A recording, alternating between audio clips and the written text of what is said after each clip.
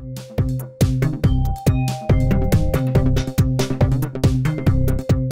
Primarias, secundarias, preparatorias y universidades de Cancún aumentan sus protocolos internos de seguridad a fin de que los estudiantes no sean víctimas de la delincuencia.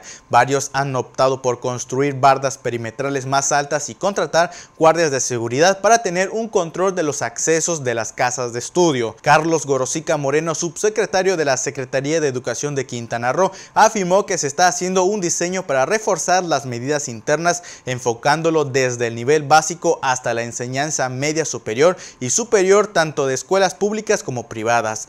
Además, se buscan que en todos los planteles de Quintana Roo exista una mejor preparación para el manejo de crisis como la situación que vivió hace unas semanas la alumna secuestrada y estar siempre en contacto con las autoridades policiales de los tres niveles de gobierno.